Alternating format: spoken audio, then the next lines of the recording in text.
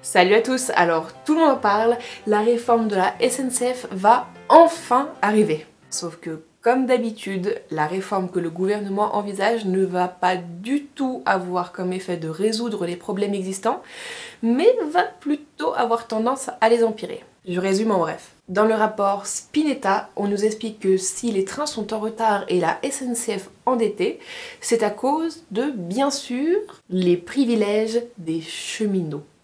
Oui, non mais tu comprends, ils peuvent prendre le train gratuitement, ils peuvent prendre leur retraite après 40 ans de cotisation, et en moyenne, ils gagnent la même chose que dans le privé. C'est vraiment des privilèges intolérables. Bon, je sais, je charrie un peu, je sais très bien que les privilèges, c'est en fait la sécurité de l'emploi. Mais c'est plutôt un système qu'on devrait chercher à étendre à nous tous plutôt que de vouloir précariser tout le monde, non?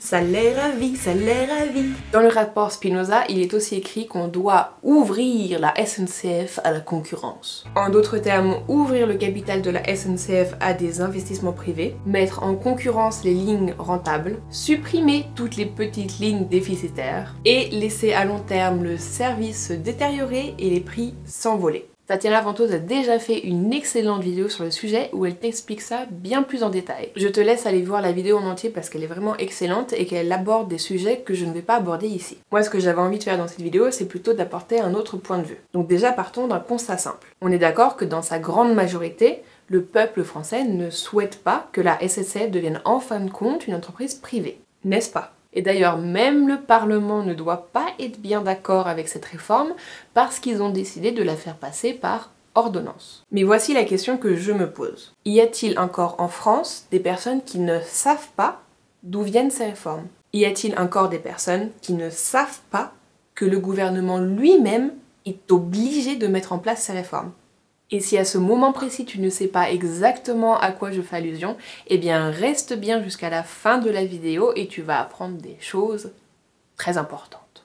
Donc c'est parti. La France a signé un traité qui s'appelle le TFUE. Et dans ce traité, il y a l'article 106 qui est très important parce qu'il est écrit les entreprises chargées de la gestion de services d'intérêt économique général ou présentant le caractère d'un monopole fiscal donc ça, ça veut dire les services publics qui incluent la SNCF. Donc je reprends. Les services publics, dont la SNCF, sont soumis aux règles des traités, notamment aux règles de concurrence. En d'autres mots, ça veut dire que par le TFUE, la France s'engage à démanteler tous nos services publics.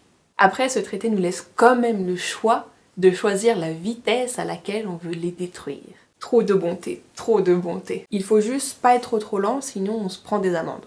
Mais c'est donc à cause de cet article que l'on a déjà privatisé toute ou une partie de EDF, GDF, TDF, euh, France Télécom, les autoroutes, euh, voilà, et puis j'en oublie. Et puis que maintenant, bah, c'est au tour de la SNCF sans oublier les effets de cette privatisation. Mais bon, c'est comme ça, on a signé le TFUE, alors il faut respecter sa parole et accepter ce qu'il y a dedans. Parce que avoir signé ce traité, c'est avoir dit la France mettra tout en œuvre, même par des réformes antidémocratiques votées par ordonnance, pour démanteler ses services publics. Et si, bah, comme moi, bah, tu n'es pas d'accord avec ça, eh bien, la solution logique, bah, c'est juste de dire que, ben, en fait, la France a changé d'avis, et puis en fait, on n'est plus d'accord, et puis du coup, on aimerait bien sortir du traité. Surtout que j'ai déjà démontré dans cette vidéo qu'il n'y a pas que l'article 106 qui pose de gros problèmes. Et que par exemple, la loi Macron, ou El Khomri, ou tout le foin-foin sur la réforme du travail, eh bien ça vient aussi de ce traité la France a signé un traité qui s'appelle le TFUE, dans lequel il est stipulé qu'on ne sera plus maître de notre politique économique, mais que ce sera dorénavant la Commission européenne qui s'en chargera. La loi El Khomri, le CICE, la baisse des appels ou toute autre loi qui, en gros, prennent aux pauvres pour donner aux riches, ont dû passer, doivent passer, et passeront un jour ou l'autre. Et ça sera comme ça tant qu'on ne se sera pas attaqué à la cause du problème. Et malheureusement, il n'y a pas que ces deux problèmes-là. Tout le traité pose d'énormes problèmes politiques, économiques et surtout démocratiques. Je te conseille vraiment d'aller t'informer, de comprendre un peu ce qui se passe et d'aller t'éduquer parce que le problème est vraiment trop important. Personnellement, je te propose cette vidéo qui est vraiment très détaillée et très intéressante Mais tu peux préférer aussi une conférence qui est plus poussée, plus difficile à comprendre, mais qui a pour avantage de ne pas venir d'un candidat aux élections présidentielles, donc qui est un petit peu plus neutre. J'espère donc maintenant que tu as compris que le TFUE n'a pas été signé dans l'intérêt du peuple français. Mais généralement, ce qui bloque les gens dans cette démonstration, eh ben, c'est que le TFUE, en fait, eh ben, c'est l'Europe. Ouais. En fait, quand on parle de l'UE, on parle de deux traités. Le TFUE, donc le traité sur le fonctionnement de l'Union européenne, et le TUE, le traité de l'Union européenne. Voilà, on ne parle que de ces deux traités. L'Union européenne n'a rien à voir avec Airbus, n'a rien à voir avec Ariane Espace, n'a rien à voir avec Erasmus, n'a rien à voir avec Schengen. Donc ça, c'est vraiment très important à comprendre. Quand on parle de quitter l'Union européenne, on ne parle pas de quitter Erasmus, on ne parle pas de quitter Schengen, on ne parle pas de quitter Airbus et tout le tralala. Non, on ne parle juste que de quitter le TFUE et le TUE, qui posent d'énormes problèmes démocratiques, politiques et économiques. Et comme il y a beaucoup de gens qui ne savent pas exactement qu'est-ce qui est l'UE et qu'est-ce qui n'est pas l'UE, eh bien, il y a beaucoup de gens qui ont peur de sortir de l'UE. Et parmi ces gens-là, eh bien, il y en a plein qui proposent de renégocier les traités. Moi, je veux changer l'Europe. Changer l'Europe pour qu'elle soit meilleure. De changer cette Europe-là. Pour changer cette Europe-là. Mais Encore. Il faut changer l'Europe. Non, mais il faut la changer. Il faut qu'on change l'Europe. Changer cette Europe. Voter socialiste, c'est changer l'Europe maintenant. D'accord. Mais le problème, ben, c'est avec qui? Pour reprendre le thème de cette vidéo, si on souhaite préserver la SNCF et qu'on ne veut pas dilapider les services publics, eh bien, il faudra renégocier l'article 106 avec, par exemple, l'Allemagne.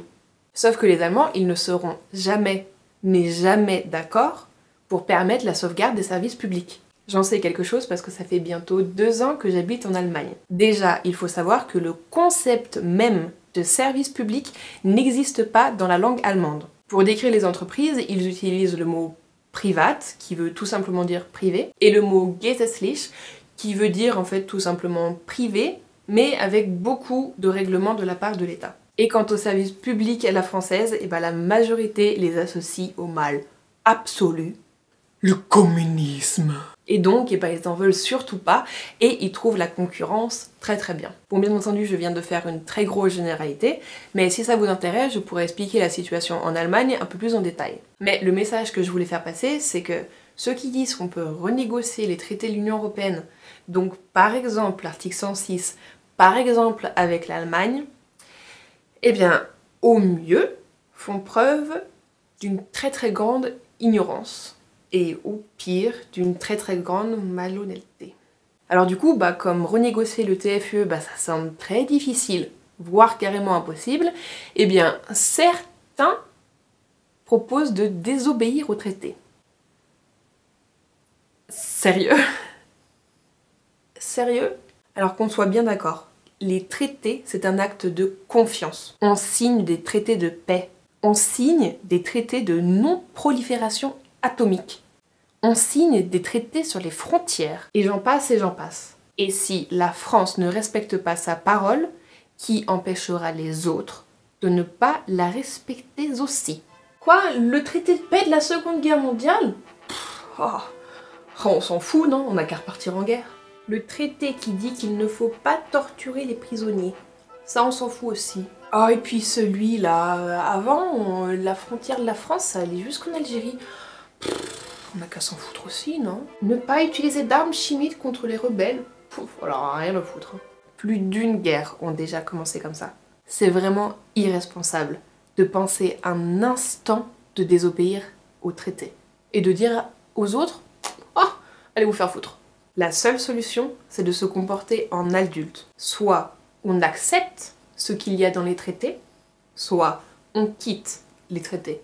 Soit on accepte que nos services publics soient démantelés, soit on quitte ce traité. Et les cacanaveux du c'est ouais mais de toute façon nous on est quand même super fort et tout alors les autres ils vont céder.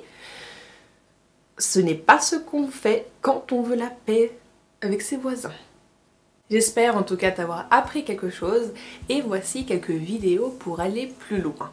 Si tu veux comprendre d'où viennent les réformes économiques dont personne ne veut, voici ma précédente vidéo sur le TFE. Et si tu veux comprendre plus en détail qu'est-ce que le TFE, alors cette conférence est faite pour toi.